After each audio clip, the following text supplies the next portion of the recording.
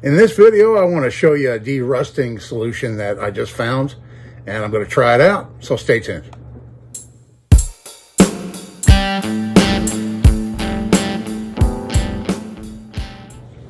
Hello everybody, thanks for coming back for another video. In this one here, I want to show you this uh, de-rusting solution that I just came across. Um, I found it originally on the Beyond Ballistics YouTube channel. And uh, he went in great detail. So if you want to check out that video, uh, he gives you a, a, lot more detail than I'm going to give you.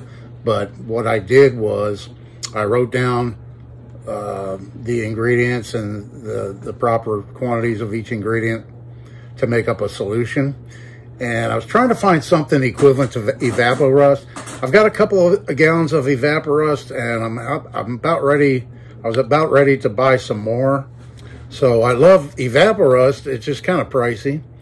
And uh, so I thought I'd give this a try. It's really, really simple. Um, it's just three ingredients.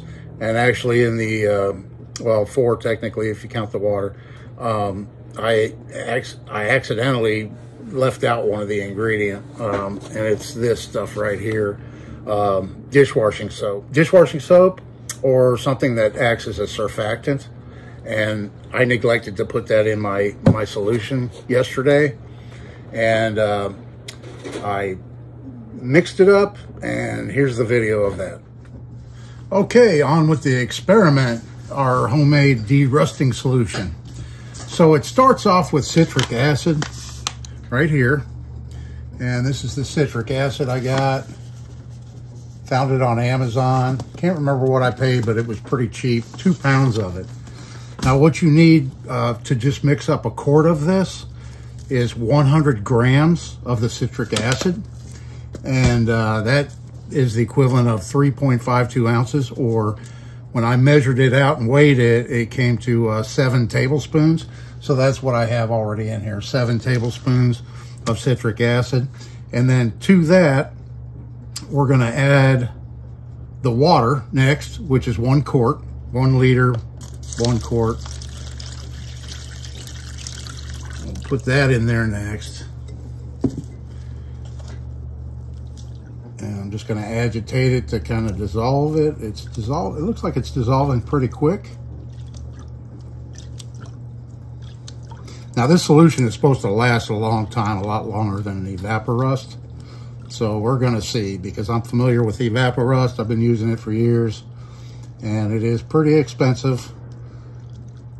I'll let you know right here how much it costs now. All right, well, that's pretty well dissolved. There's still a few crystals in there. But uh, the only other ingredient we add is baking soda. Just This is just regular old Arm & Hammer baking soda. And uh, you want 63 grams of it, which is the equivalent of 2.22 ounces. Or when I weighed it out, it measured to three and a half tablespoons. And then I've got it right in here. So I'm going to add that and it should foam. Yes, it foams really good. Hopefully it doesn't foam over. It looks like it might foam over. Wow, look at that.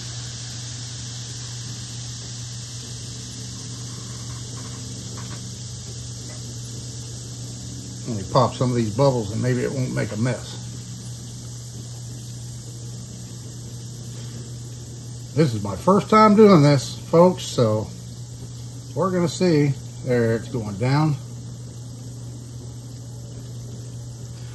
Now, the, uh, the big advantage to this solution, from what I saw, was that it attacks the rust but not the base metal, which is the claim that Evaporust makes.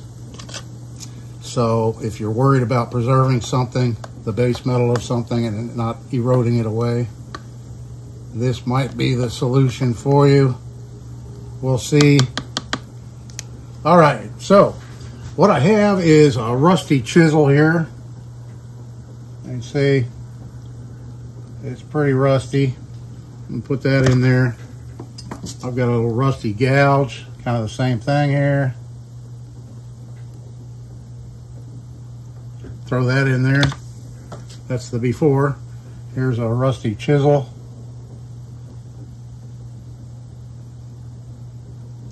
All right, we're gonna throw that in there. And then here's a an old knife blank. It's got quite a bit of rust on it. Both sides. You can see that. Okay, I'm gonna throw that in there. And then I just got this little Camp Buddy knife uh, this past weekend. I got it at a flea market, and it's pretty rusty. The uh, not terribly bad rust, but there we go. You can kind of see. Uh, I guess what I'll do is I'll open up these blades. Yeah, I think what I'll do is I'll open the blades all the way. maybe I'll leave that one half open like that. And it's pretty rusty down inside there too. I'm not sure if you can see, but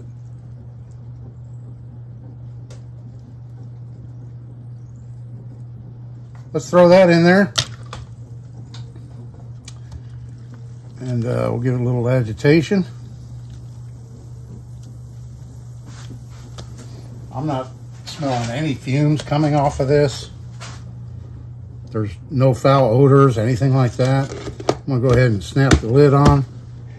And we're gonna let that set for an hour and then we'll come back and see what it looks like. Yeah, so 24 hours later, um, I think I probably could have just left it in there for five hours or six hours or, or something like that and got the same results.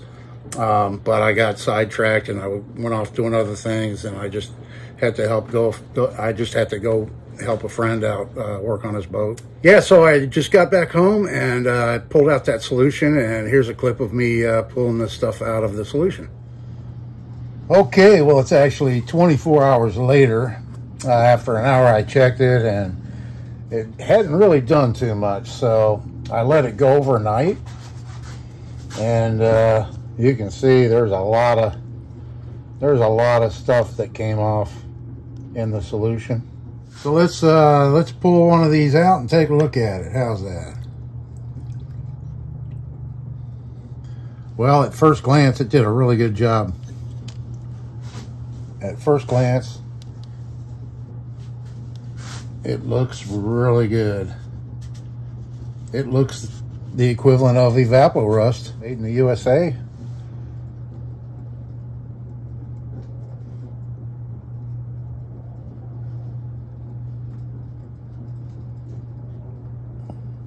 yeah, this came out, this came out really good too.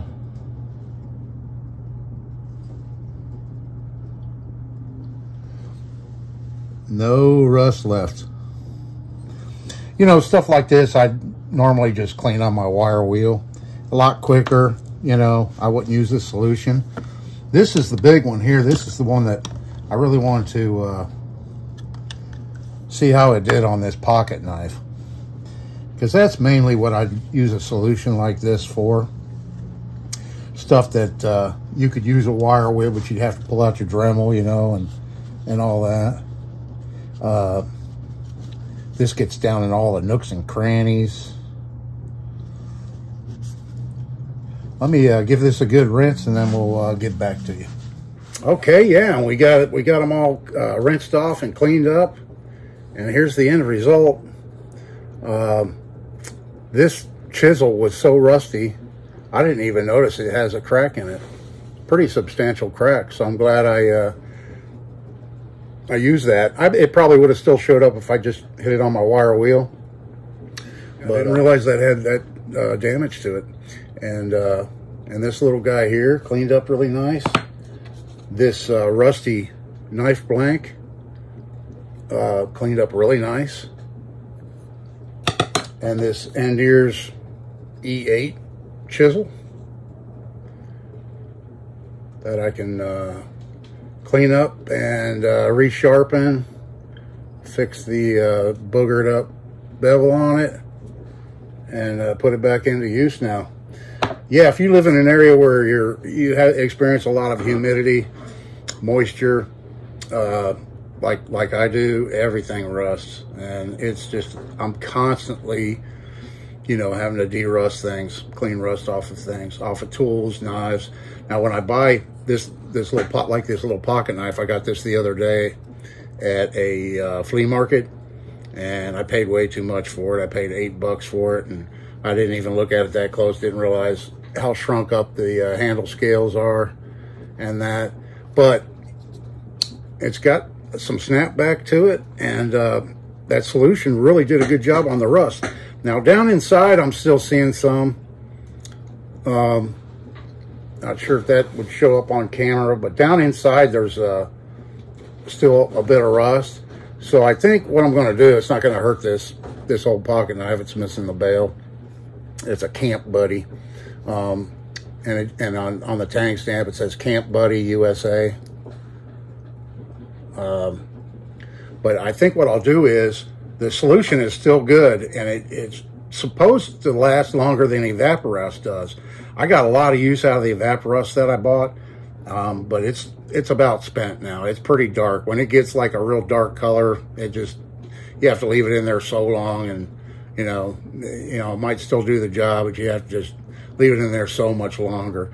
Um, I think 24 hours should be like you know, the max for any kind of a solution. Now you can mix this up weaker, you know, if, if let's say you had something you want to de-rust and uh, you're going to be gone for the weekend or something like that, you could mix up a weaker batch, throw it in there and just leave it in there all weekend. It's not going to hurt it, you know.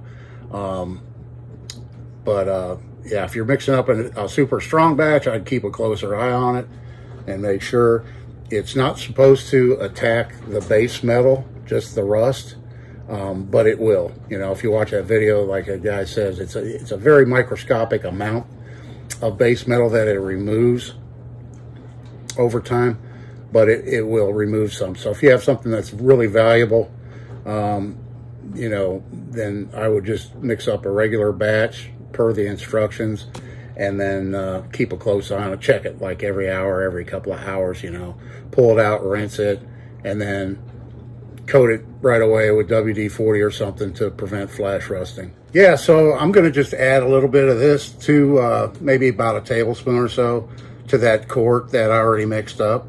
And then I'm going to throw this little guy back in there with the blades opened up and see if we can't get some more of that uh, rust that's down in there off the springs and stuff on the inside of the springs and see if that doesn't tackle that. But this is the first time trying this and I'm really impressed. And uh, I'm going to do all the math for you and figure out how much it cost me to make a gallon. I'll just project it out to a gallon and uh, compare that to uh, Evaporust and I'll put that in right here. So all my uh, knife guys out there that, that restore a lot of knives, rusty, they get old rusty knives and stuff like that, you know, you might want to give this uh, this rust remover formula a try. It's uh, it's it's very inexpensive in comparison to Evaporust. And now when it when it's working, when you add that uh, baking soda, it does gas off a little bit. It gives off a little bit of hydrogen gas. Um, so you you know definitely want to use it in a well ventilated area, or just open up a window and turn a fan on or something like that. You know um, you know, in your workshop or whatever. Um, but yeah, give it a try and let me know if you try it. Come on back and leave me a comment and stuff. Let me know what you think or if you've come up with a way to make it work even better. Um, yeah, let me know that too. I've tried electrolysis and it, and it works really well. Um, I've used uh, vinegar um, and that works really well. But I just wanted to give this a try. It intrigued me when I saw that video on uh, Beyond Ballistics, and I thought I'd give it a try. And so I ordered the, uh, you know, the bag of citric acid, and this two pounds is probably going to be enough to make gallons, you know, gallons of this stuff. So I've got enough to last me for a long time. And baking soda, that we already always have that around the house. So really the only thing you have in dishwashing soap. So the only thing you really need to get is the citric acid if you don't already have that laying around. Anyway, I hope you enjoyed the video. Thank you so much to my subscribers. So this is Dave. I'll see you in the next one.